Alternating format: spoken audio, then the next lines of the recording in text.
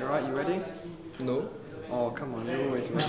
What is going on, everybody? I'm here with Richard Papillon. Is that better pronunciation this yeah, time? yes, that's good. Yeah. Also known as Shox, Shoxy Jesus, because you are the messiah of great aim. How are you doing? I'm good, thank you. Nice, wicked. So you just um, come off a victory against Mouse, right? It was 2 1 to you.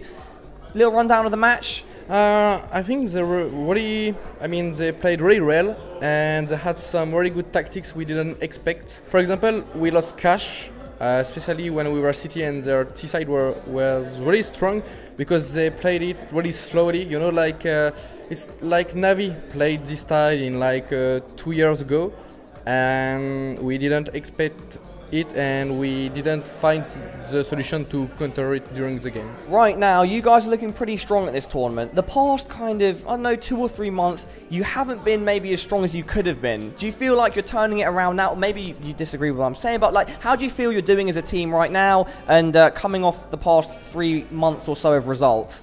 Um, I think we really ha- had a hard period. Yeah. It was really tough, and that's why, uh, for example, um, I uh, deciding to. I mean, we all decided uh, in the team to put me as a in- game leader. Oh, are you in game leading now? Not now, but I was Okay. like since two months I was leading. Yeah, yeah. and uh, because yeah we had we had a hard period and we didn't know how to to make better you know because everyone was tired or some Yeah, some personal weird- stuff as well. yeah, some weird stuff Yeah, you know yeah, yeah. so i was like okay uh, let's uh, i'm gonna make the call. So it's gonna be new and stuff and you know when you got some new thing in the team it always like grows the grow up the motivation. So that's why we tried to do for the past two months.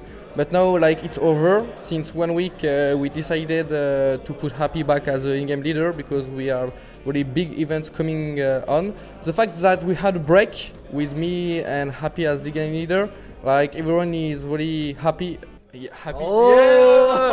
yeah. is really happy to to get back happy in uh, the role of in-game leader Nice. so it's just like it's only since three four days we are doing this so we're just gonna need time for us definitely is like um, practice Yeah. uh, for the next events And the next big event, Cologne, am I right? Or is there anything before that? no no it's called uh, it's uh, ESL ESEA in one week for us it's it's uh, it's like practice for the next events but I know even this time it's feeling like we are still a bit shaky from some uh, kind of rounds but uh, at the meantime we are sometimes making really good runs uh, that we didn't make since long time so yeah i'm confident for the next weeks So I, I've missed out. I, I forgot ESL e, ESEA is next week, right? And so, uh, how are you feeling for that? Let's. Well, firstly, Gfinity, you got. You think you got a good shot at taking this title here?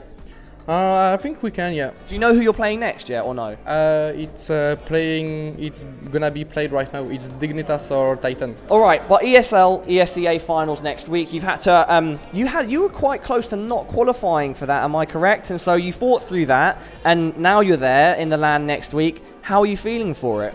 Uh, we are feeling really happy about the qualifier um, because like we were down to four win to five lose in the league and we finished with 16 win and six lose. So like we had a record with uh, 12 win for one lose which is really good so we are really happy we we came back from this and now we are expecting to make a good show at this event Any sort of particular tactics or practice regimes that you're doing, other than competing here, that's kind of bringing the team to the top performance that you're hoping to produce there? Like any particular sort of practice that you're doing? uh, a lot uh, with uh, tactics time you know Okay, so focusing back on getting the tactics from Happy, the in-game lead-in, and maybe the mid-game calls and stuff like that. like we are we are i mean we are back to work You specifically, just a bit about your play style. I love the way you play.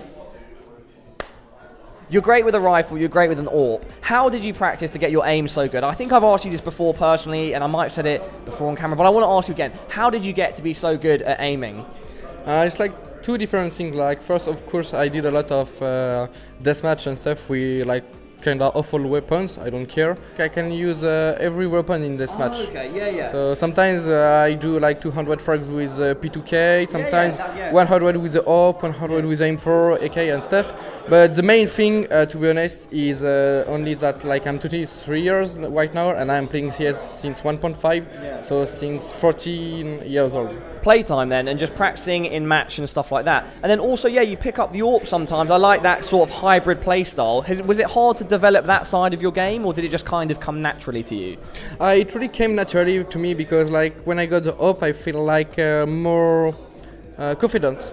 I don't know why because you know it's like only one bullet and he's dead. It's not like uh, the rifle and stuff. So I don't do it uh, often, but when I take it, because it's different, I, I, I love everything which is different. And so it gives it maybe it makes it very hard to predict what you're going to do for yeah, the team. yeah, true. Well, uh, I think you have got a great shot at this tournament at ESL next week. But the big, big thing on the horizon, right? Surely is the major Cologne ESL at the end of August, right?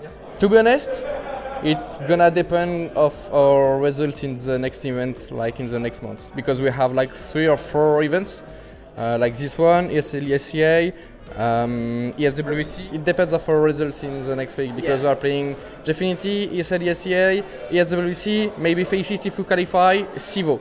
Yeah. So we got Wow. four events for sure and potentially five. So if we're in good shape, we can win Cologne. I have no doubt about this. But if it's, if we're gonna be shaky or stuff, it's gonna be hard. Arguably a top three team, one of the best in the world, undoubtedly. I think the next major you're going to have a great shot. Shox, thanks for your time. I appreciate it. Hope all of you out there um, taking in what he said. Uh, any shout outs to your teams, whatever. I'll make sure everyone follow him on Twitter. It'll be in the description box. All in black. What? All in black. All in black. Yeah. The casino. All right, everybody, that's it. Richard, thank you. Peace.